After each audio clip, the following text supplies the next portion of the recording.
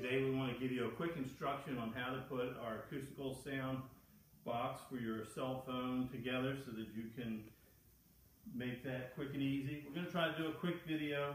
You'll get a box, depending on how many you buy, roughly this size with a packing ticket. Inside the box you'll find the cellophane wrapped components as well as a hardware bag. Inside of the hardware bag you will find your glue, your sandpaper, a drill bit, and little feet for the sound box. We have a drill bit, your glue and sandpaper, and a little bag of four feet. When you open your kit, you'll find it wrapped in cellophane. We try to keep it completely wrapped to control the humidity with the piece so it doesn't pick up or lose moisture. The components are fairly thin, so you want to take care and not leave it sit on top of a hot radiator or something like that.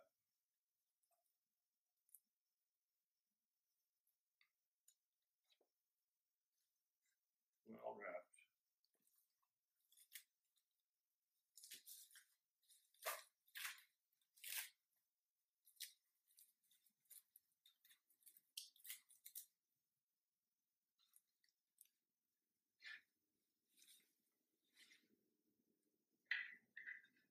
Primarily two main components. And our accent strips. You do want to carefully sand the interior. By carefully, I mean thoroughly sand the interior. You want to get the fuzz off and bring it down to a pretty smooth polish. And I recommend taping off your blue surfaces, which are these little flats, and then finishing your interior first. You want a nice slick surface. The slicker it is, the less your sound will be diffused. Little accent strips. On this one you'll notice I just kind of played with it and put a little wedge shape on the end of them. You can play with that and get creative so that yours is unique compared to anyone else's. You can glue them on, you can leave them square. You could flush them up if you chose to, or you could create your own little edge detail on that piece. The top obviously has the hole in it for your phone. In the end, it'll lay on top like this. Now we have to glue all those surfaces.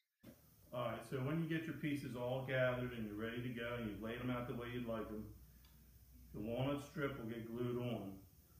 What I like to do is put a little bit of glue on, rub it back and forth, get it flush on the ends, and leave the walnut just a little bit proud. And in just a few moments, that's going to stick and stay pretty firm for you. Turn around, you do the same thing with your walnut strip on the other side.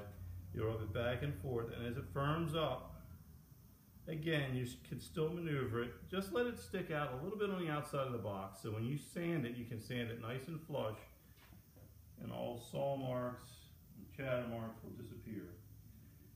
As that's sanded, then put a light coat of glue on the bottom section flat and this bottom section flat. Turn it over and carefully place it and flush your ends. Now that glue is going to act as tack to a certain extent, which will give you time to remove a piece of tape,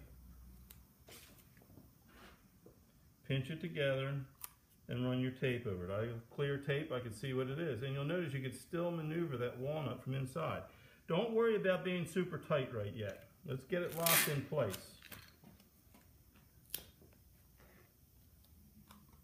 Then you can simply slide your fingers in to make sure that accent strip, in this case walnut, is just standing a little proud on the outside. Tape your front corner in the same fashion.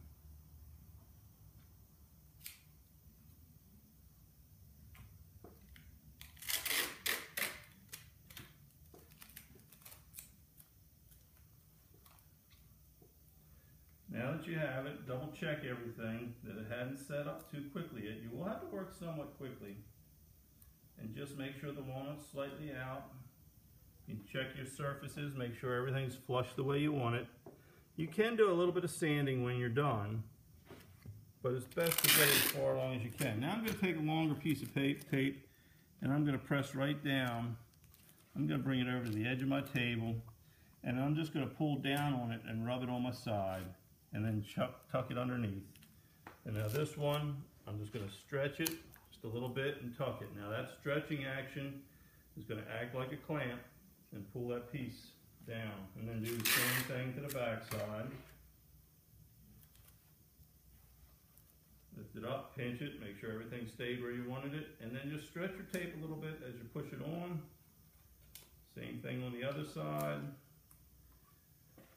And then you can run one right through the middle. I would run one through the middle just to make sure. No sense time that later. You had a little bit of a hill there that didn't sink for you, a little hump. Again, I'm just stretching it gently. I'm not breaking the tape. And now your box is pretty solid. You shouldn't hear any rattling. If you need to make any fine adjustments, do them now. That glue will have already started to set up. You're not going to move it much, so you want it to be pretty much where you want it when you get there. After you've gone that far, let that sit aside for a couple hours and get good and hard. Generally, Titebond will dry within a half hour to where it holds, but using the tape method, not heavy clamping, it pay to let it sit just a little bit longer. Give it at least an hour. When you're done, that's dry, we've given you a drill bit you can test it in an old piece of wood if you have any around. We have tested it here. You're going to lay out and put a hole gently. You're going to use tape on your drill bit. Put a piece of blue tape on it.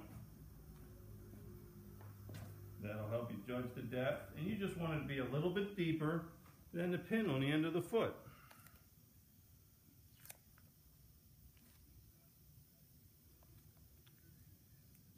And you can run a few layers around. You're just gonna, it's not going to stop your drill bit from going in, but it will give you the depth that you want to drill to.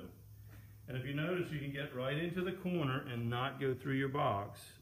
If you go through because you just slipped too much or something, it's not the end of the world, you can fill it. But generally speaking, you're going to come out right on the edge and just go in deep enough to tap your foot in with a little bit of glue on it. You do your sanding, clean it up nice, and your box will be assembled. And then spend your time getting a nice finish on it and you'll be good to go.